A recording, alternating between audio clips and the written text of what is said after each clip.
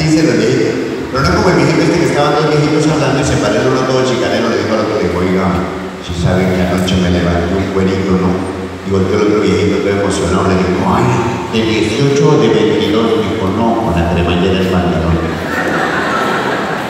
No, yo sí me levanté una amiga. Buenas noches, ¿cómo está? ¿Cómo les va? Tan bonito. Ay, se me hace casi se va a decir ahí. Así entra en plancha. Bienvenida a su café. Menos mal no se accidentó. Me levanté una amiga y dándonos un besito con la amiga me metió un mordisco por aquí en el cuello, una vaina que quedó uno marcado un libro así como el ojo, pero el cuello y se dio un chupado que ya. Y llegué yo para la casa con eso ahí, Dios mío, de mi me pesqué esto, me da en la jeta, pero uno de hombre como es inteligente. Yo entré por detrás de la sala, salí para el patio, saqué el perro para meter el patio, lo amarré, cogí un palo de escoba y agarré el perro a escobazos.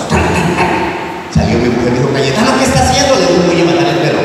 Digo, ¿por qué? Le dije, porque nos pusimos a jugar y miren cómo me el cuello.